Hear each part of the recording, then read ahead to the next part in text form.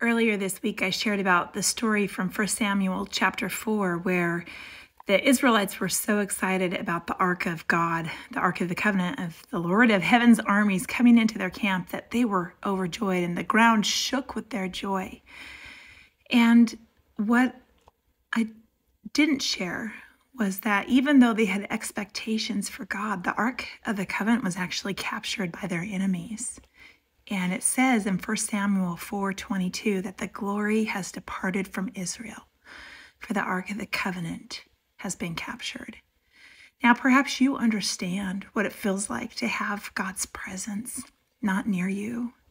You might feel like you've done things and God has said, Fine, walk your own life, do your own thing, and I will be here when you're ready to walk with me. In the Lord's presence, there is joy. I love joy. I love the week of joy in Advent because we can talk about how much joy there is to be found in the Lord. And if you continue in 1 Samuel, uh, look in chapter 6 at the story of when the Ark of the Covenant was returned to Israel. Um, the Philistines were so terrified by this Ark of God in their midst because it was very clear that the Lord was fighting against them that they sent it back to Israel on a driverless cart.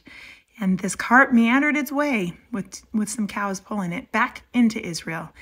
And when they saw the ark, it says they were overjoyed.